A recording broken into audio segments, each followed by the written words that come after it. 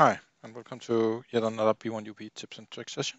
Today we will inspire a little about how to custom color fields and change texts. So uh, let's jump into business one. If I can get my system to react to me, here we go. And let me show the feature and then let's show you how it's working afterwards.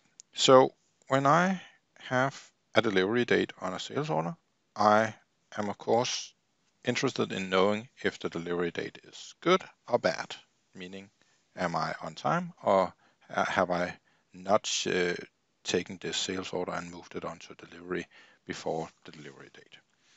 So if I go to the last one here, you can see I'm way behind because it will actually tell me that the delivery was due in uh, in 726 days ago because it's a document from 18. But if I, for example, go in and say uh, three days from now, it will say delivery date in three days. Or if I go behind the scenes, then it's six days. You, of course, decide how you want to show this up here.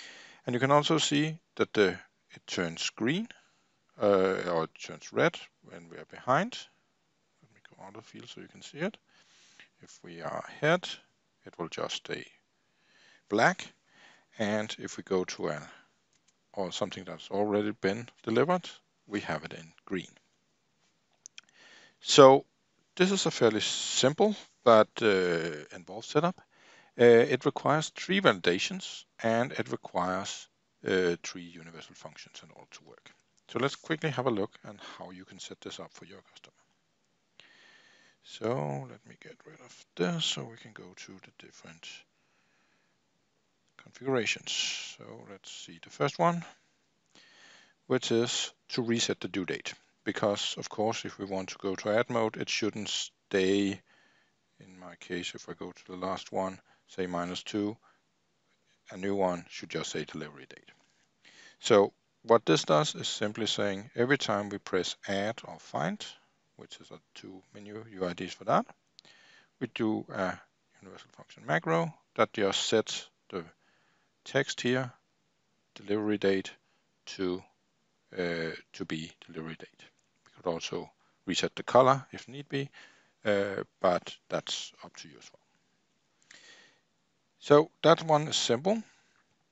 So we just get the reset. Here we have, whenever we load some data into it, we do a SQL condition saying, is this date less than today's date? If it is, it's overdue else it's good. So if we look at overdue, we go and say, okay, it's overdue. Is the uh, is the document open?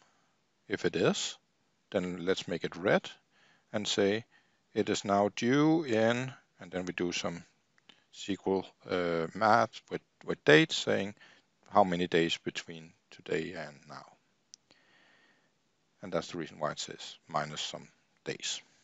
If it's not an open document, it must mean that we have delivered already or done, so we all just set it in green using, uh, so 12 is, if we go to the sales order, so 12 is the actual field, as you can see in the lower left corner, and 13 is the label of it.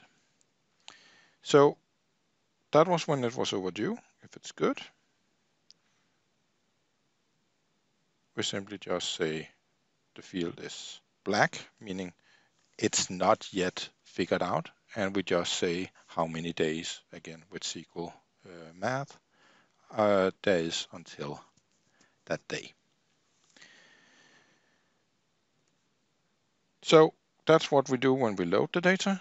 And the final one is, of course, when we actually change the data, and it's actually exactly the same as uh, with the load because now we just have a new date and we need to check if it's overdue or good.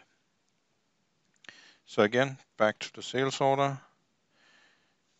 If I go there, it's bad. If I put it into the future, it's good. If I put it in the past, it's bad, and so on. Today's date will be red because we are technically allowed, but that's the business case, of, of course. Uh, so that's up to you. And if we go away from it, it should of course go away and just say delivery. So that, thank you for attending and I hope it's beneficial.